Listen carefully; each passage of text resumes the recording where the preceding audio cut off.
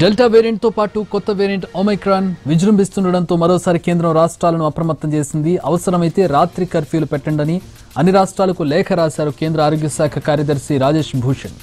Covid నిబంధనలపై నిర్లక్ష్యంగా ఉండొద్దని virus వ్యాప్తి ఎక్కువగా ఉన్న జిల్లాలపై మరింత దృష్టి పెట్టాలని ఆదేశించారు.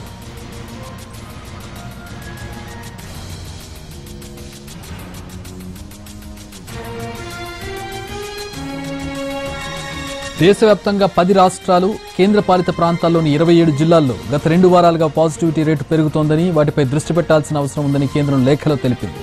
కేరళ మిజోరాం సిక్కిం రాష్ట్రాల్లోని ఎనిమిది జిల్లాల్లో పాజిటివిటీ రేటు పది శాతం కంటే ఎక్కువగా ఉన్నట్టు వెల్లడించింది. మిగతా ఏడు రాష్ట్రాల్లోని పంతొమ్మిది జిల్లాల్లో పాజిటివిటీ రేటు ఐదు నుంచి పది శాతంగా నమోదైనట్లు పేర్కొంది.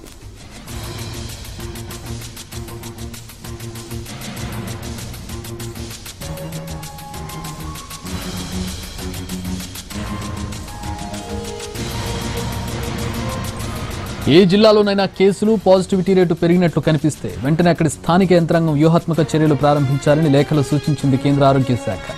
ఆ ప్రాంతాల్లో పరీక్షలతో పాటు వ్యాక్సినేషన్ పెంచాలని తెలిపింది. కంటైన్మెంట్ జోన్లుగా పరిగణించి అవసరమైతే రాత్రి కర్ఫ్యూ విధించాలని సూచించింది. అలాగే జనసమూహాలు పెళ్ళిళ్ళు అంత్యక్రియల్లో పాల్గొనే వారిపై పరిమితులు విధించాలన్నారు ఆరోగ్య శాఖ కార్యదర్శి రాజేష్ భూషణ్.